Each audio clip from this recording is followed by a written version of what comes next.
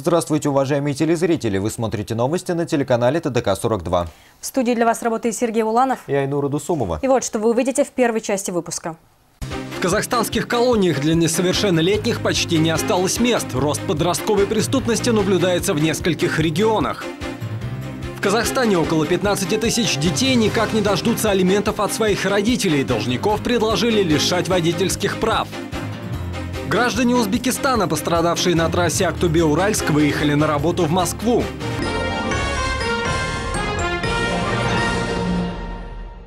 В Казахстане растет количество преступлений, совершенных подростками. Об этом стало известно на брифинге в Астане.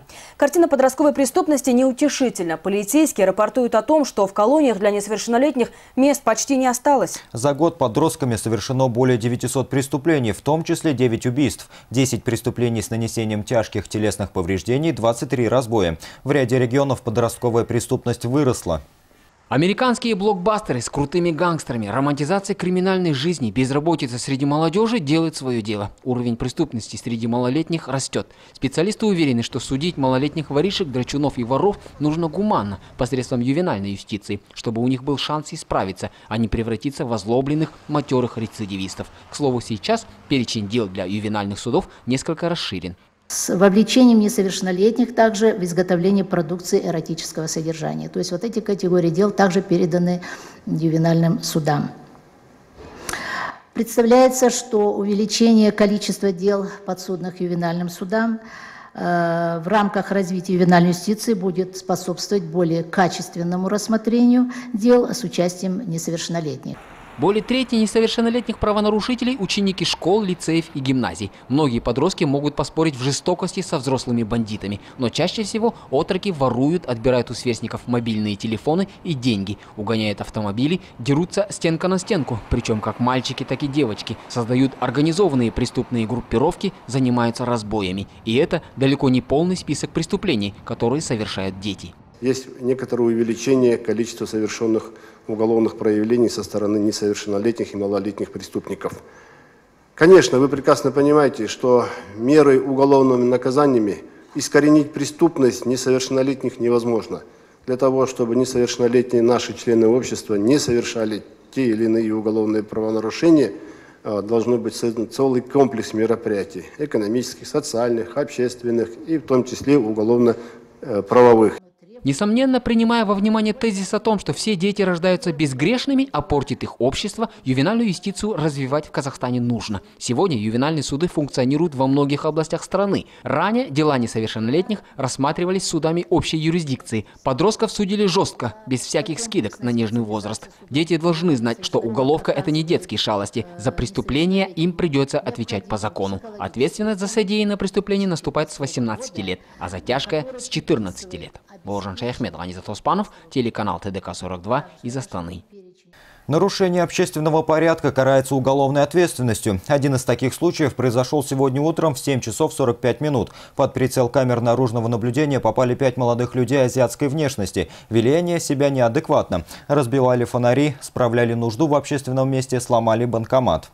На замечания прохожих не реагировали. После задержания выяснилось, что все пятеро вандалов находились в состоянии алкогольного опьянения. Возраст задержанных от 22 до 25 лет. Был направлен автопатруль машины БДВП, где задержали и доставили Абайский отдел полиции. По данному факту возбужден уголовное дело по статье 293 часть 2. Данные граждане будут привлечены ОПК. Данные граждане. Сейчас ведет следствие.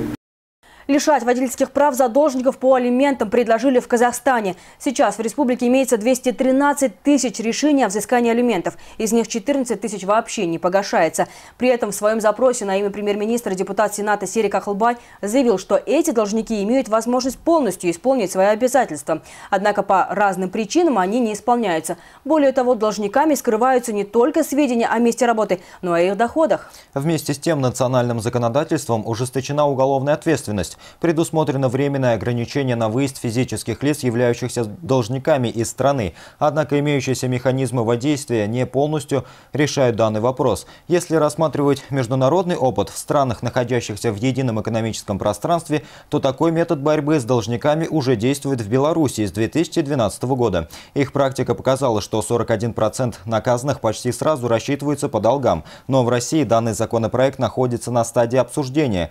По мнению сенатора, данная мера позволит решить вопрос воздействия на злостных неплательщиков алиментов и защитить прежде всего детей. Назрела необходимость рассмотреть вопрос о введении временного ограничения права на управление транспортным средством должника, не исполняющего установленных судом денежных обстоятельств, обязательств на срок, установленный судом до исполнения обязательств, но не более чем на один год. Исключением должны быть случаи управления транспортным средством необходимой в связи с инвалидностью, либо в качестве единственного средства получения доходов. За первые три месяца 2015 года по результатам мониторинга продукции лабораториями санитарно-эпидемиологической экспертизы исследовано более тысячи проб продукции. Из них выявлено несоответствующих требованиям 272, то есть треть. Основную долю несоответствующей продукции составила импортная продукция из России. Наши корреспонденты продолжат тему. За прошлый год на основании санэпид-мониторинга главный санврач Казахстана принял 9 постановлений о запрете ввоза и реализации мяса птицы, алкогольной продукции, сыров, шпрот, мяса охлажденной говядины, винограда, мясных консервов и детских игрушек. В этом году подобных постановлений пока не было, однако за март и первые числа апреля городское управление выписало предписание на несколько десятков видов товаров российского производства. Владелец именно данной пищевой продукции, он должен изъять именно эту продукцию или же по поручению уполномоченных органов мы выдаем предписание, чтобы они устранили данные нарушения, которые не, соответствуют, не соответствующего товара. В большинстве случаев Управление по защите прав потребителей регистрирует незначительные нарушения. Маркировка не соответствует стандартам, отсутствует информация на государственном языке, неотчетливо видны даты изготовления и срок годности. Из молочной продукции городское управление по защите прав потребителей забраковало био-йогурт «Активия», молоко «Домик в деревне», «Простоквашино», «Шадринское» и молочные коктейли «Простоквашино» и «Чудо». Вслед за ними пошла мясная продукция, несколько видов тушенки «Гепар», паштета «Гепар», колбасы и сосисок. Всего 20 наименований. Из птицы табу наложено на желудочки и печень цыплят-бройлеров. Ну и, разумеется, алкоголь, не соблюдая техрегламент, водка «Талка», зеленая марка, дикий гусь, а также пиво «Пилснер» и «Миллер». По Казахстану с начала марта в список нарушителей таможенного техрегламента вошли несколько наименований масложировой продукции из России, кондитерской, а также соки и энергетические напитки. На сегодняшний день утверждены 35 технических регламентов, из них вступили в силу 31. Контроль за соблюдением требований к безопасности пищевой продукции будет осуществляться и дальше, пообещали в Управлении по защите прав потребителей, в соответствии с законодательством государств, членов Таможенного союза. Антон Киселев, Нурлан Кунашев, Рустам Джумашев, ТДК-42.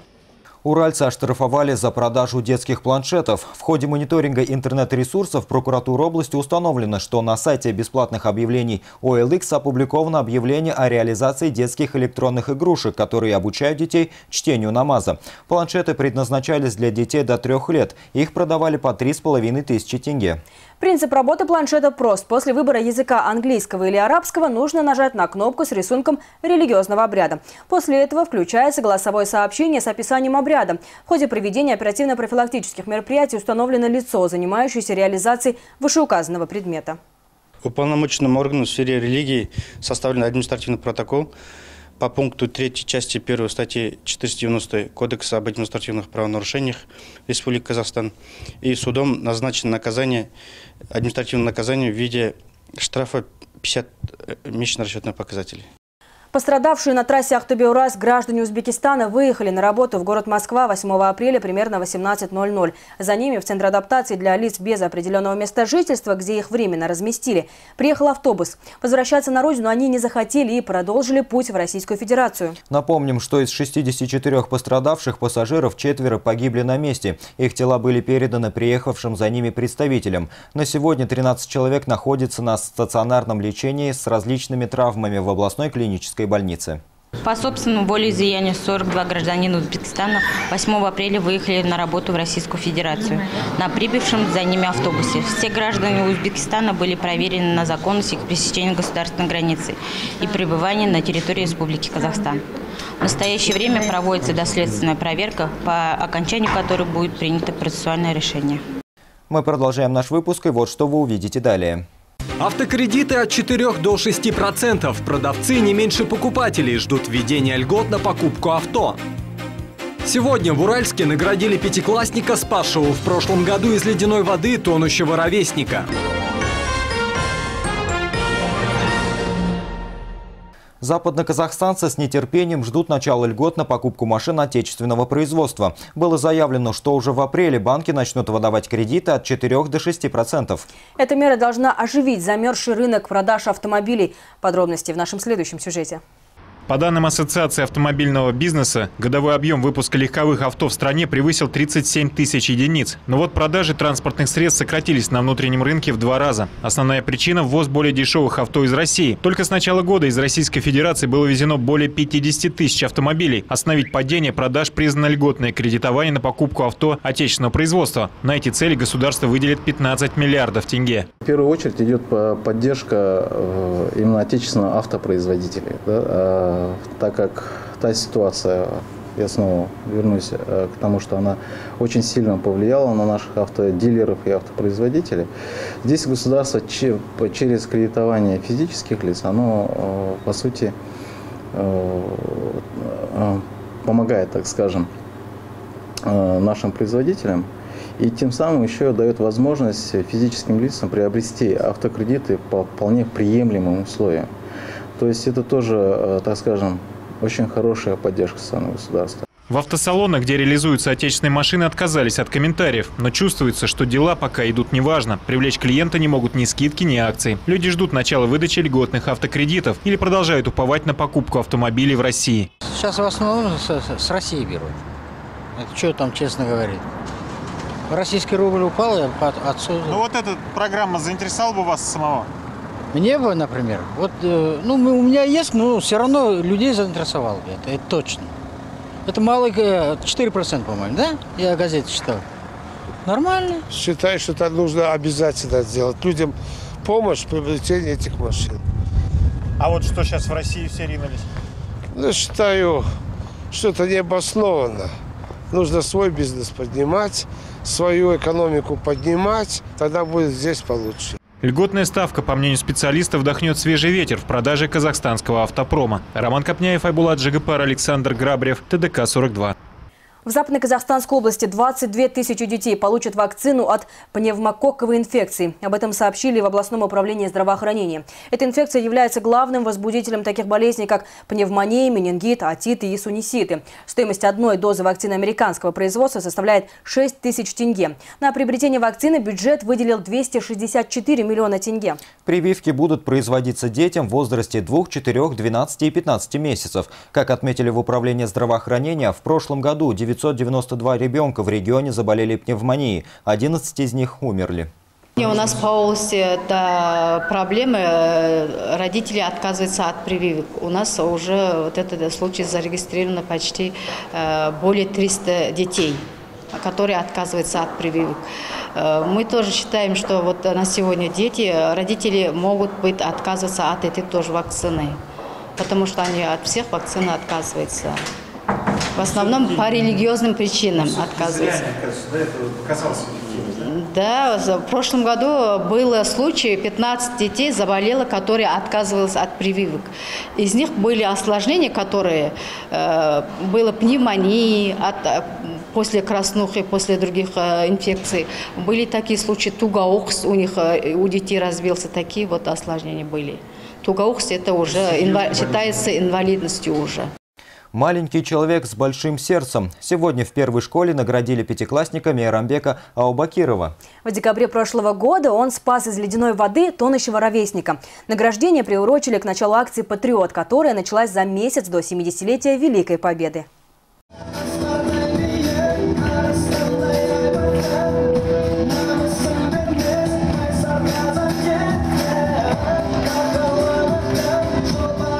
Учащиеся первой школы замерли на торжественной линейке. К ним гости пришли ветераны Великой Отечественной войны и воины-афганцы. На груди прославленных земляков ордена и медали. Первая награда в этой жизни достается пятикласснику Мирамбеку Аубакирову.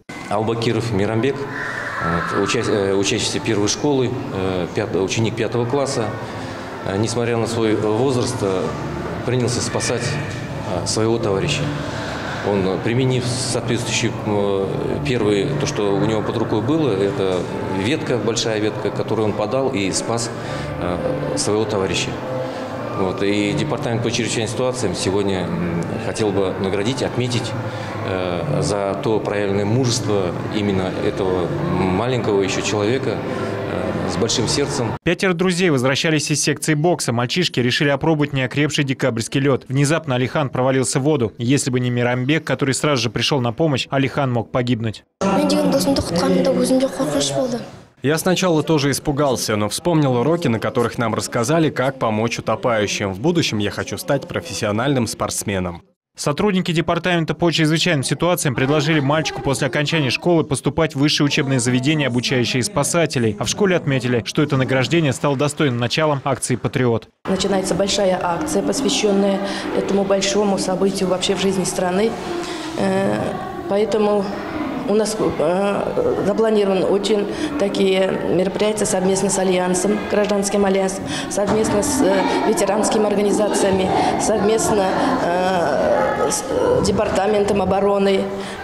И вот сегодня начало, берем старт, и дальше весь месяц у нас, э, согласно плана, э, такие объемные мероприятия, где будут принимать участие ветераны Великой Отечественной войны, ветераны педагогического труда, неправительственные организации. Патриотизм не обязательно проявляется подвигами, но в случае непредвиденной ситуации нужно быть готовым повести себя смело и решительно, как это сделал Мирамбек. Роман Копняев, Айбулат Джигипар, Александр Грабрев, ТДК-42. Медовая ярмарка, которая проходит в ДК «Зенит», продолжает радовать гостей и жителей города своей продукцией. Накануне сезона простудных заболеваний мед особенно актуален, ведь, как известно, этот продукт – лучшее профилактическое средство. На ярмарке российского меда Горного Алтая и Башкирии вы найдете порядка 50 видов сладкого золота. Подробнее в следующем сюжете. Мед – уникальный целебный продукт, это знают едва ли не все посетители ярмарки, но что именно вылечивает тот или иной вид, знают немногие. На помощь покупателям спешат опытные продавцы, настоящие знатоки и ценители меда. Качество предлагаемой продукции они гарантируют. Уважаемые жители и гости города, приглашаем вас на ярмарку башкирского и алтайского меда. У нас продаже появился уникальный каштановый мед, который применяется как средство против заболевания дыхательной системы. Приходите, ждем вас. Купить мед – дело непростое. Именно поэтому каждый посетитель может сначала попробовать, а только потом сделать выбор в пользу той или иной продукции. После дегустации уральцы, не раздумывая, приобретают полезный продукт мед. У всех есть возможность впрок закупиться полезным и целебным лакомством.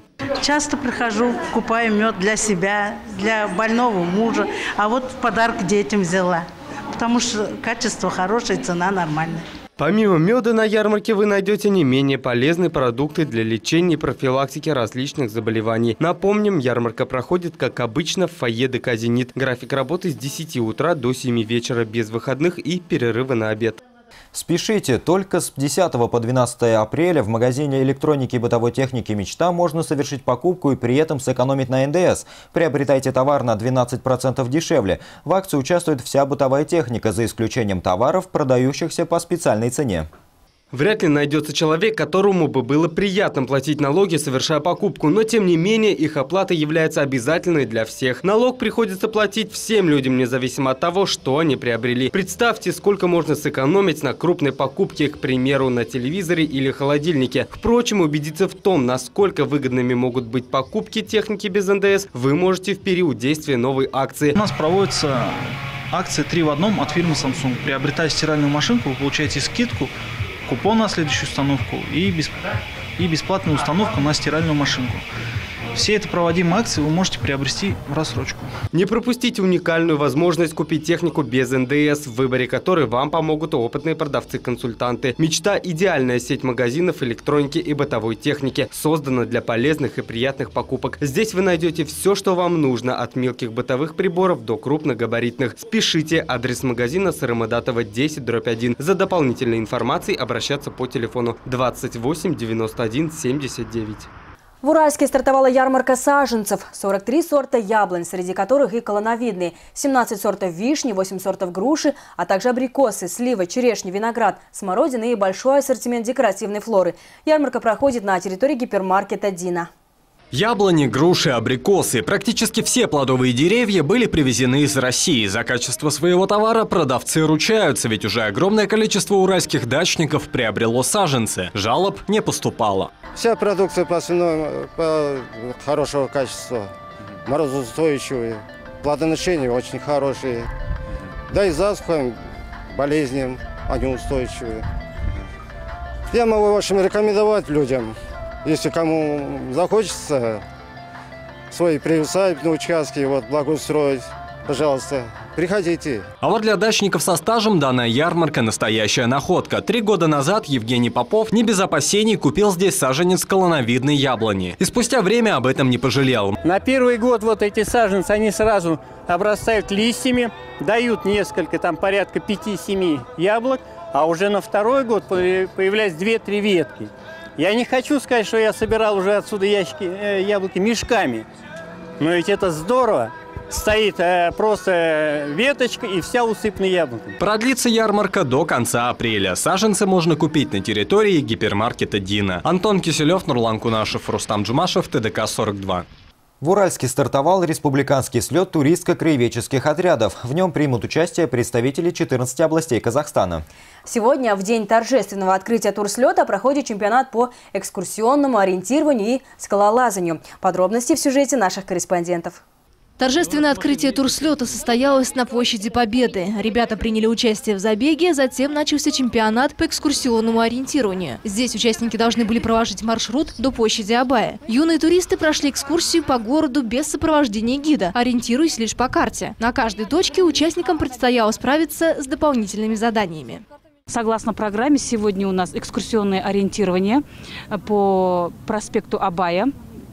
А, также параллельно идет соревнование по скалолазанию на, по скалолазанию на трудность и скорость. Э, завтра будет проходить э, защита краеведческих проектов Жас-Улькетануше.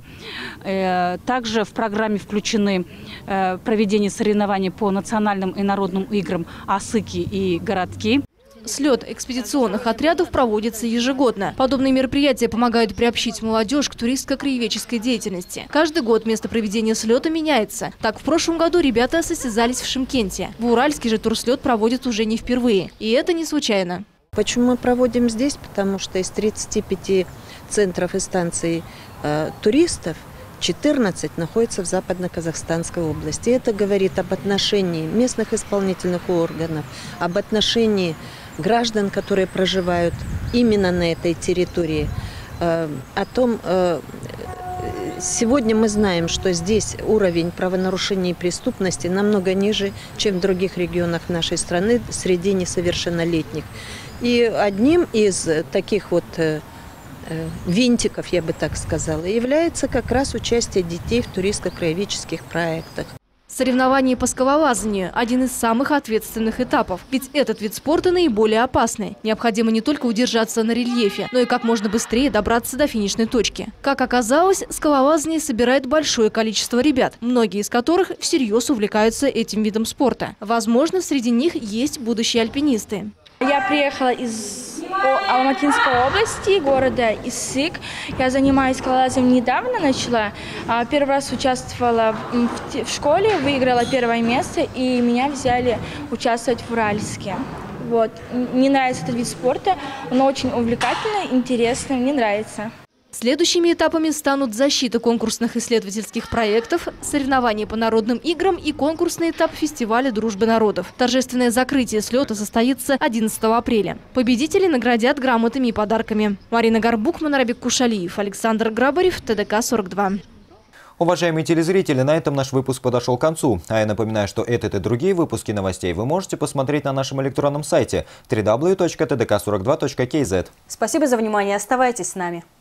Одежда ведущим предоставлена бутиками «Промот» и «Купер». Торгово-развлекательный комплекс «Сити-центр».